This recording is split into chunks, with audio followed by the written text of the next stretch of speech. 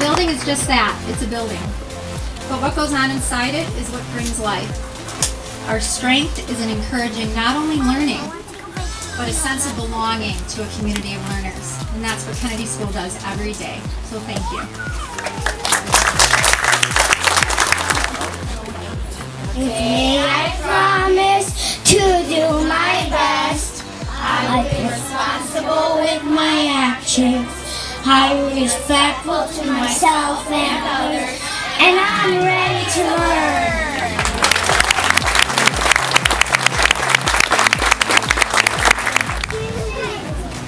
We are really excited about our new addition. Thank you to the school board members and everyone who made it possible for us to have more space to learn. One thing I'm most excited about with the, the new school is that we are getting new rooms. The future is coming and everyone is going to be happy in the school.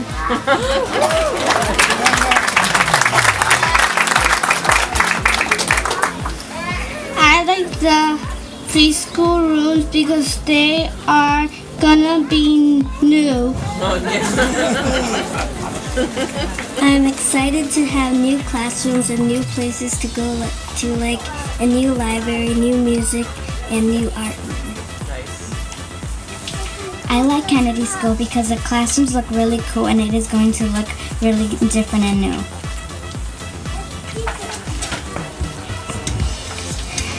I like that the breakout rooms will be there and you can make new friends there.